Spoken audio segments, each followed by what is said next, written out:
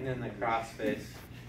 Or, uh, you wanna just do, we'll go into showing a straight up crossface. Okay, yeah. And then I'll show you how to tighten it while we're in it. So, my, my crossface, I like to get into it. First we gotta flatten them out. I like the far knee, far ankle, driving them right to their side.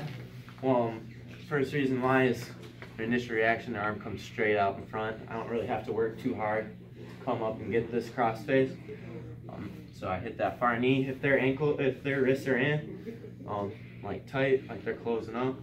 All right, and you can't hit this crossface. You know, uh, people say push the push the elbow up, make them ask a question like they're in class, but that's not to get you much if they're nice and strong in there.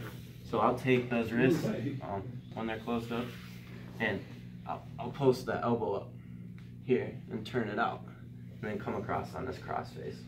When I hit this crossface, I like coming right across that orbital bone right there, right across right by the side of the eye. All right, right across the top of the cheek right there. My, my bony forearms do not make that feel comfortable down in there. Okay, I'm hitting this, planting the hand right behind the bend of the knee. When I plant this hand, this hand does not move until he kisses his knee. All right, so I plant, Oh, that's bad. but, oh yeah, yeah.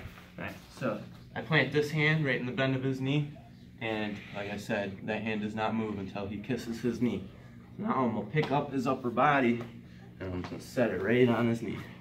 Now I can't make him kiss his knee. I got him close, but now he's kissing his knee, right? So I lock hands. I like to keep this arm. If I can lock wrist, my wrist, I'll do that. But if I don't have that luxury, I just need to get my hands together, get it locked. I go uh, thumbs on the side, palm to palm, that butterfly grip right there. But for now, I'm gonna take lock right to my wrist. Getting hip to hip, right? Try not to step over this leg. We're walking, walking it back.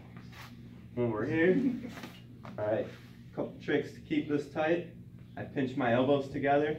When I pinch my elbows together, I push that, I'm pushing his arm out. So watch, like the space in here. It gets gets nice and tight in there, nice and slim. But we can't gotta make sure we're we're still keeping it tight. We don't lose the integrity of the cradle. Because if I'm pushing him here, all right, and I'm straightening this out, he's got a nice flexible neck. His head can pop right out. All right, so here, tightening, tightening those, pushing the hands away. All right, once we got that nice and tight, we work this bottom knee into the bend of this hip. We're pushing this hip away, pulling that knee right into us. And forehead, right in the temple, a soft spot right behind the orbital. And then we are, uh, he'll be kicking here. We gotta catch that on the down. We're keeping it here. Alright, when, say you you get this cradle, one thing I do, if, if there's like no time left, uh, there's like 10 seconds left, you absolutely need the pin, um, but you know you're not gonna give up the position. And I'll go all through it, pushing it up, cradle, post in, make him kiss his knee, hip to hip, pull it back. Alright, I got like 10 seconds left. Coach is yelling, I need the fall. You gotta get the fall. Alright, I'll hip down, flatten out, almost like a, a reverse half Michigan type look. Here, and just flatten back. And try and pull that shoulder flat. Not gonna be able to hold them there long, that's why it's a, a last second. Try and get that fall. Uh, another item when you got that, you knock them down, you run the, run the cross face. And you run this knee, you lock it up.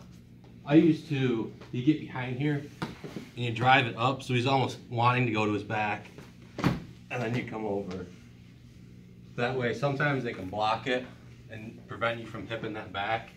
But if you get behind that knee and drive it towards his head and really get it up in there, you can then drive him over and, and bring him back. So I'll show it one more time. So you break him down. They can kiss his knee.